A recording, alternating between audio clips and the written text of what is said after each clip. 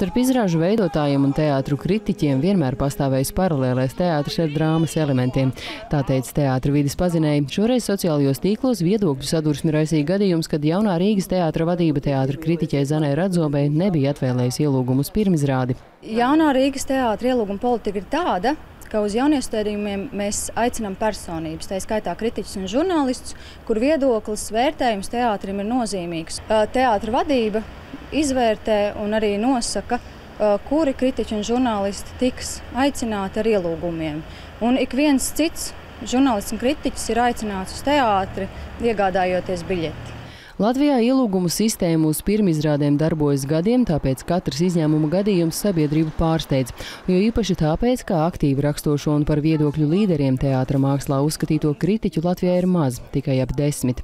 Turpretī teātra zinātnieks un mūsdienu teātra vides pazinējs Jānis Siliņš teica, ka tieši tāpēc, ka teātrim pietuvināto cilvēku lokus ir šaurs, emocionālo neutralitāti var gadīties arī zaudēt.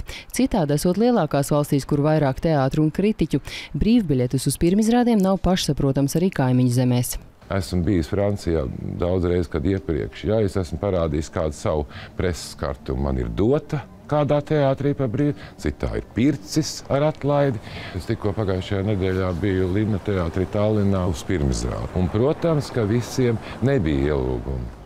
Jā, arī, bija arī tie, kas ir teātra vērtētāji, kuriem bija biļetes. Gadījums, kad teātrī neielaiž kādu kritiķi, Dailas teātrī bijis vien padomju gados.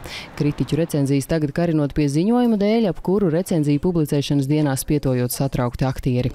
Kā mēs zinām, ar vārdu arī var nogalināt. Un, mm, īpaši šos jūtīgos māksliniekus, aktierus, režisorus, kuri rāda izrādes. Un es domāju, ka kritiķa profesionālitāte arī slēpjas tajā neaizvainot, neievainot, nesist arī varbūt lieka neglaudīt un neglājumot, bet uh, būt uh, nu, jā, objektīvam tur grūti pateikt, jo ir grūti būt objektīvam, ja tu esi tas viens konkrētais vērtētājs. Nu, kritika vienmēr būs subjektīva. Tur, un, un vēl jo vairāk mūsdienās, kad nu, atšķirībā no iepriekšējiem laikmetiem, kad eksistē kaut kādi standarti, pret kuriem tad varēja samērot, vai tā izrāde nu, ir teiksim, laba vai nav laba, tad nu, mūsu laikos jau šādi standarti neeksistē. Tas ir vēl viens papildus apstākļus, kāpēc jā, kritika ir ļoti subjektīva un, un tur objektivitāte nav pamats sagaidīt. Līdzīgi kā jaunais Rīgas teātris, arī Daila rīko tikšanās un diskusijas ar kritiķiem, uzklausot viņu domas par teātrī paveikto.